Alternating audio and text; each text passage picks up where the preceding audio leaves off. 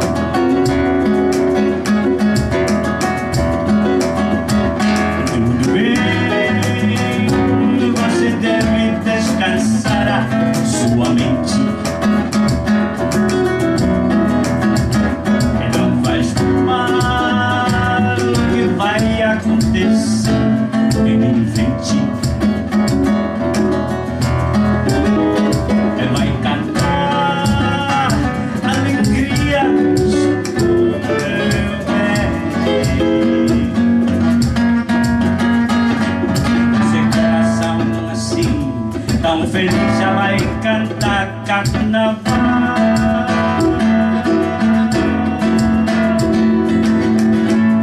There was so much.